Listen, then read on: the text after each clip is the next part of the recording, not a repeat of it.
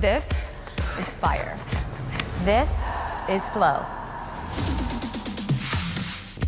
A brand new way of training where you alternate between high intensity exercise days and restorative body shaping recovery days, where you'll learn techniques to help you feel renewed and rebuilt.